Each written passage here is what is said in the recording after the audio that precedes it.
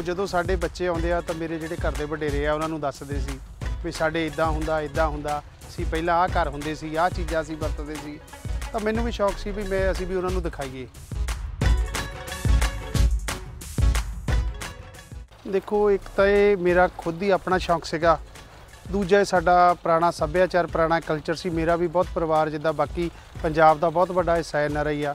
ਮੇਰਾ ਪਰਿਵਾਰ ਵੀ N R I ਆ।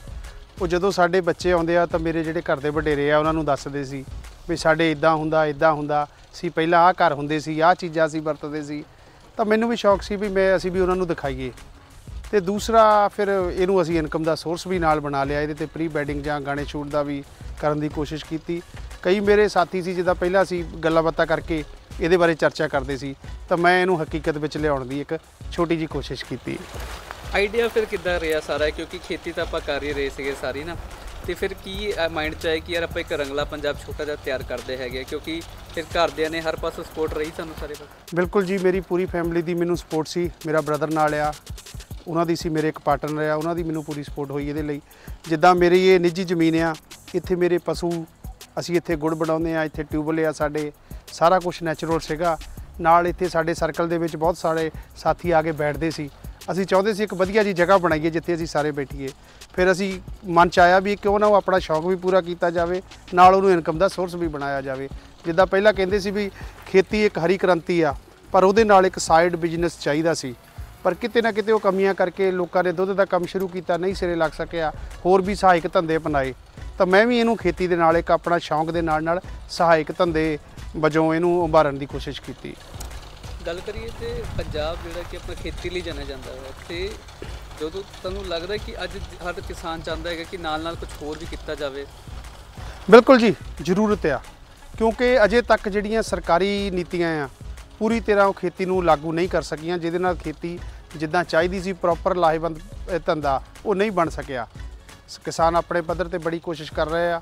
ਪਰ ਕਿਤੇ ਨਾ ਕਿਤੇ ਸਰਕਾਰੀ ਨੀਤੀਆਂ ਕਰਕੇ ਕਮੀ ਜਿਹੜੀ ਹੈ ਮਹਿਸੂਸ ਹੁੰਦੀ ਆ ਉਹਦੇ ਲਈ ਸਹਾਇਕ ਧੰਦੇ ਅਪਣਾਉਣ ਦੀ ਜ਼ਰੂਰਤ ਹੈ ਤੇ ਮੈਂ ਆਪਣੇ ਸ਼ੌਕ ਨੂੰ ਸਹਾਇਕ ਧੰਦਾ ਬਣਾ ਕੇ ਜਿਹੜਾ ਉਹ ਅਪਣਾਇਆ ਜੀ ਗੱਲ ਕੀਤੀ ਫਿਰ ਥੀਮ ਸਿਲੈਕਸ਼ਨ ਕਿੱਦਾਂ ਕੀਤੀ ਫਿਰ ਇੱਕ ਜਿਹੜੇ ਮਾਈਂਡ ਚਲੋ ਇੱਕ ਕਿਸਾਨੀ ਕਹਿ ਸਕਦੇ ਕਿ ਕਿ ਕਿਤੇ ਨਾ ਕਿਤੇ ਖੇਤਾਂ ਦਾ ਦਿਮਾਗ 'ਚ ਤਾਂ ਹੀ ਹੈਗਾ ਨਾਲ ਲੈ ਕੇ ਤੁਰਨਾ ਹੈ। ਸ਼ਾਇਦ ਇਹੀ ਇੱਕ ਰੀਜ਼ਨ ਕਹਿ ਸਕਦੇ ਹਾਂ।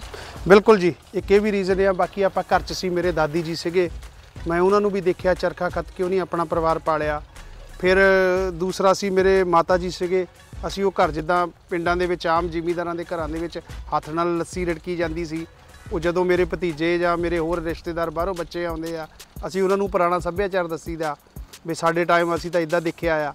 ਵੀ ਹਾਲਾਂਕਿ ਸਾਡੇ ਲਈ ਵੀ ਬਹੁਤ ਘੱਟ ਸਮਾਂ ਉਹ ਚੀਜ਼ਾਂ ਦੇਖਣ ਨੂੰ ਮਿਲੀਆਂ। ਤਾਂ ਫਿਰ ਮੈਂ ਕਿਉਂ ਨਹੀਂ ਕਿਹਾ ਵੀ ਜਿਹੜਾ ਅਸੀਂ ਉਹਨਾਂ ਨੂੰ ਸਮਝਾਉਂਦੇ ਆ, ਉਹਨਾਂ ਨੂੰ ਪਤਾ ਨਹੀਂ ਲੱਗਦਾ ਵੀ ਇਹ ਚੀਜ਼ਾਂ ਅਸੀਂ ਹਕੀਕਤ ਵਿੱਚ ਉਹਨਾਂ ਨੂੰ ਦਿਖਾਉਣ ਦੀ ਇੱਕ ਛੋਟੀ ਜੀ ਕੋਸ਼ਿਸ਼ ਕੀਤੀ ਆ। ਤੇ ਅੱਜ ਸਮੇਂ ਦੀ ਇਹ ਲੋੜ ਵੀ ਆ। ਆਪਣਾ ਸੱਭਿਆਚਾਰ ਸਾਂਭਣ ਦੇ ਲਈ। ਗੱਲ ਕੀਤੀ ਜਾਵੇ ਕਿਹੜੀ ਕਿਹੜੀ ਚੀਜ਼ਾਂ ਜਿਹੜੀ ਕਿ ਇੱਥੇ ਤੁਸੀਂ ਤਿਆਰ ਕੀਤੀ ਹੋਈ ਹੈ ਦੇਖੋ ਸਾਡਾ ਕੰਮ ਪੂਰਾ ਜਿਹੜਾ ਆ ਇਸ ਟਾਈਮ ਤਕਰੀਬਨ ਤਕਰੀਬਨ ਲਗਭਗ ਪੰਜਾਬੀ ਕਲਚਰ ਜਿਹੜਾ ਸੀ ਉਹ ਪੂਰਾ ਹੋ ਚੁੱਕਾ ਆ। ਅਸੀਂ ਇਹਨੂੰ ਬੱਸ ਦਾ ਪੰਜਾਬ ਜਿਹਦਾ ਬੱਸ ਦਾ ਪੰਜਾਬ ਫਿਲਮ ਸਿਟੀ ਨਾਂ ਦਿੱਤਾ ਆ। ਇਹਦੇ ਵਿੱਚ ਪੁਰਾਣੇ ਮੰਜੇ ਜੋ ਘਰਾਂ ਦੇ ਵਿੱਚ ਸਮਾਨ ਹੁੰਦਾ ਸੀ ਪੁਰਾਣੇ ਟੀਵੀ ਪੁਰਾਣੀਆਂ ਕੁਰਸੀਆਂ ਪੁਰਾਣੇ ਬਰਤਨ ਪੁਰਾਣੇ ਜੋ ਵੀ ਸਾਡੇ ਇੱਕ ਦਾਜ ਵਿੱਚ ਜਿੱਦਾਂ ਪੱਖੀਆਂ ਵਗੈਰਾ ਸਾਰਾ ਕੁਝ ਇਹ ਚੀਜ਼ਾਂ ਦਿੱਤੀਆਂ ਜਾਂਦੀਆਂ ਸੀ। ਪੁਰਾਣੇ ਸੰਦੂਕ ਹਰ ਚੀਜ਼ ਜਿਹੜੀ ਆ ਪੁਰਾਣੀ ਉਹ ਅਵੇਲੇਬਲ ਅਸੀਂ ਕਰਨ ਦੀ ਕੋਸ਼ਿਸ਼ ਕਰ ਰਹੇ ਹਾਂ ਤੇ ਬਹੁਤ ਜਿਹੜੀਆਂ ਚੀਜ਼ਾਂ ਆ ਉਹ ਅਸੀਂ ਅਵੇਲੇਬਲ ਕਰ ਵੀ ਚੁੱਕੇ ਹਾਂ ਤੇ ਇੱਕ ਦੋ ਦਿਨਾਂ ਦੇ ਵਿੱਚ ਅਸੀਂ ਸਾਰੀਆਂ ਚੀਜ਼ਾਂ ਇੱਥੇ ਜਿਹੜੀਆਂ ਆਪਣੀ ਆਪਣੀ ਜਗ੍ਹਾ ਤੇ ਉਹ ਰੱਖ ਵੀ ਦੇਣੀਆਂ।